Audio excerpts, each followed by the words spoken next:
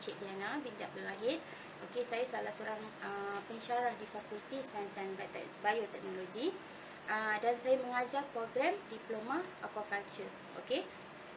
Okey, Fakulti uh, Sains dan Bioteknologi ni uh, ada menawarkan program-program yang berkaitan okey dengan sains uh, sepertinya uh, foundation ataupun uh, tahun asas sains okey dan juga program-program diploma dan ijazah okey antara program diploma yang ditawarkan adalah diploma akuakultur bioteknologi industri uh, sains kuantitatif dan juga uh, industri teknologi okey uh, program ijazah pula kita ada program uh, bioteknologi bioinformatik matematik dan statistik uh, environment dan biodiversity dan juga teknologi industri.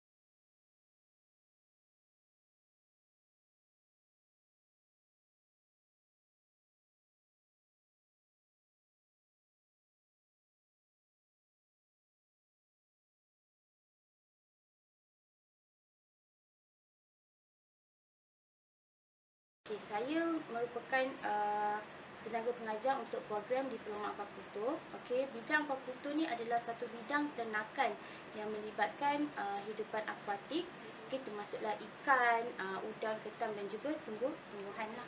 Nama saya Muhammad Syafiq bin Hudin, uh, mengambil kos Diploma of Aquaculture sudah semester kelima dan ini salah satu uh, mini projek yang saya buat dengan yang lain. Ini dinamakan aquascaping. Uh, Aquascaping ni adalah satu dalam macam produk untuk kiasan di dalam aquaculture punya ni. So, ya kita lihat ada beberapa jenis buah aquatic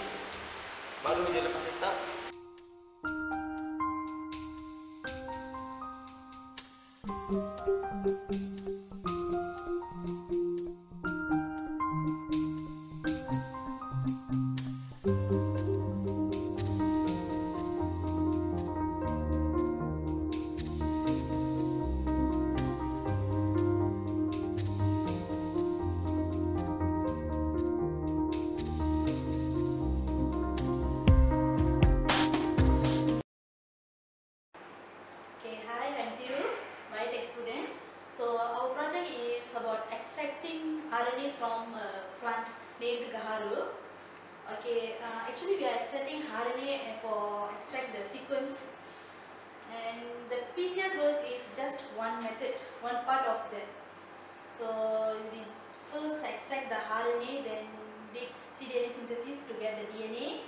Then we are synthesizing, mean we are multiplying the copies of the DNA uh, to sequence, to send for the sequencing, to identify the correct gene, actually.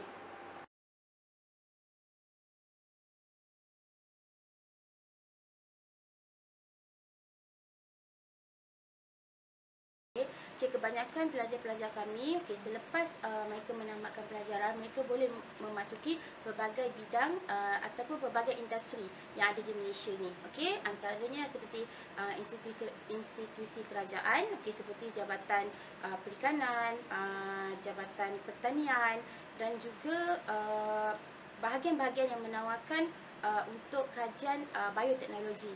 Okey, selain itu juga uh, pelajar-pelajar juga boleh pergi kepada industri-industri perkilangan okay, sebab ah, kita ada program teknologi industri yang mana mereka lebih uh, melibatkan diri kepada uh, industri perkilangan okay.